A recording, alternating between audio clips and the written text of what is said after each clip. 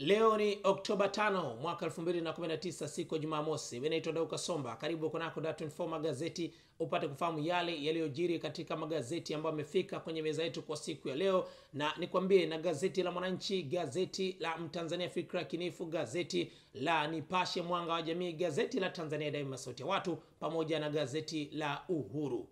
Mfumo bora na sahihi kabisa kuweza kufanya miamala yako ya kifedha ni mfumo wa M-Lipa, mfumo ambao ni rahisi kabisa. Unapotuma pesa ama kufanya miamala ya kifedha kuanzia elfu moja mpaka milioni moja, basi makato yake ni nafuu na ni shilingi elfu moja. Urahisi na usalama wa M-Lipa, unaweza ukatuma pesa ukafanya miamala ya kifedha kuanzia siku ya kwanza mpaka siku ya mwisho, na alafu unaweza ukaona e, taarifa zako na miamala yako yote ya kifedha ambayo umefanya kupitia M-Lipa. Tovuti yao ni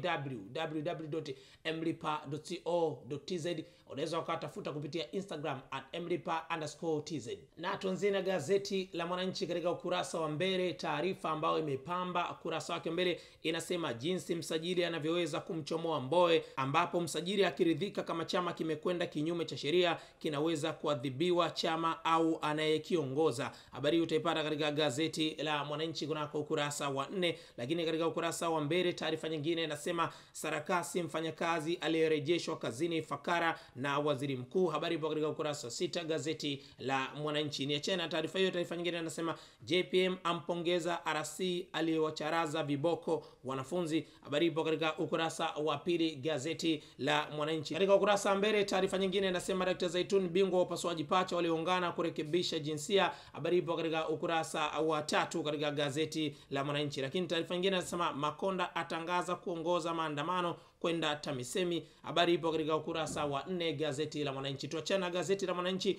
nishike gazeti la Mtanzania Fikra Kinifu, ambapo taarifa inasema wanaorudisha mabilioni kwa DPP wakesha kortini. Ni habari katika gazeti la Mwananchi, ambapo inasema madini ya mabilioni yataifishwa, waliokiri walipa mamilioni Kisutu pekee wafikishwa watuhumia zaidi ya hamsini kwa mpigo. Mhasibu atakukuru agoma kukiri, mwenzake aomba msamaha. Mchina akana kuandika barua kupata ofa iliyotolewa na DPP. Habari ipo katika gazeti la Mtanzania Fikra Kinefu ukurasa wa mbele, lakini unaipata kwa undani zaidi katika ukurasa wa nne. JPM ampongeza RC kwa kucharaza viboko wanafunzi, atamani waongezewe zaidi, ataka sheria ifanyiwe marekebisho. Habari ipo katika ukurasa wa tatu. Habari hii unaipata katika gazeti la Mtanzania Fikra Kinefu. Lakini Dr. Ndugulire, theluthi moja wanawake nchini wana viriba tumbo. Habari hii ipo katika ukurasa wa tano gazeti la Mtanzania Fikra Kinifu. Lakini Van Dijk awatuliza mashabiki Liverpool.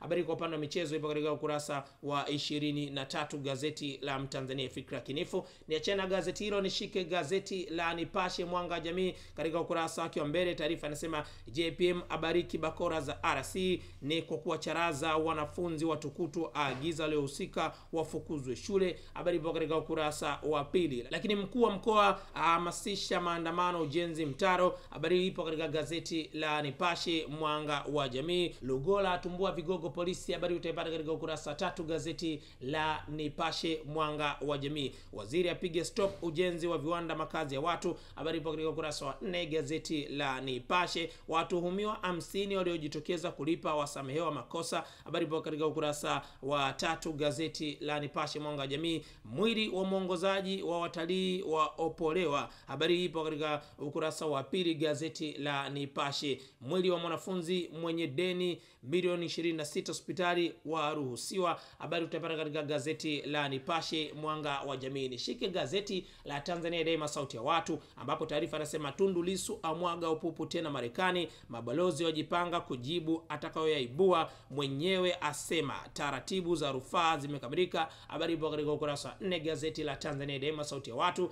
JPM ashangilia viboko vya RC, Jafo apinga. Habari ipo katika gazeti la Tanzania Daima Sauti ya Watu ukurasa wa tano. Walioiba madini ya milioni mia tisa walipishwa faini ya milioni mia mbili. Habari unaipata katika gazeti la Tanzania Daima Sauti ya Watu ukurasa wa tatu. Miraji Ausems wazoa tuzo VPL. Habari ipo katika ukurasa wa ishirini. Hii ni kuhusiana na michezo ambapo mshambuliaji wa Simba Miraji Athmani ameibuka kuwa mshambuliaji bora wa mwezi wa tisa, lakini kocha kocha wa timu hiyo Patrick Aussems naye ameibuka kuwa kocha bora wa mwezi uliopita. Ni taarifa kutoka katika gazeti la Tanzania Daima, sauti ya watu. Lakini Chadema asema tutaishangaza dunia urais 2020. Habari ipo katika gazeti la Tanzania Daima, sauti ya watu. Nitamatishe Da24 magazeti kwa kushika gazeti la Uhuru, ukweli daima, laandika JPM awapa kazi maalum Lukuvi Mbarawa Kamwelwe, atoa neno kwa RC aliyewacharaza wanafunzi viboko, aonya utovu wa nidhamu shureni Habari ipo katika ukurasa wa pili. Dr. Bashiru kugawa vitambulisho kwa wenye viti wa mashina elfu tisa. Habari hii unaipata katika ukurasa wa tatu gazeti la Uhuru. Lakini taarifa nyingine inasema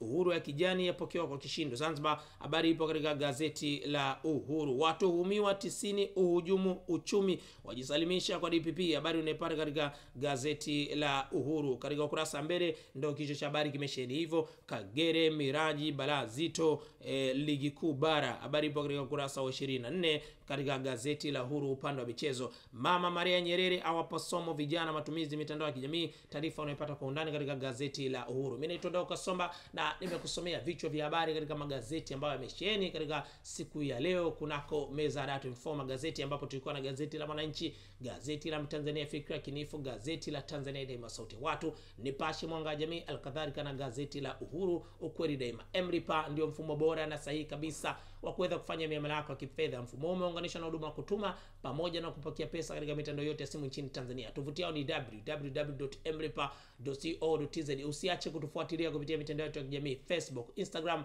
pamoja na Twitter. Ada 24 News. Bye bye.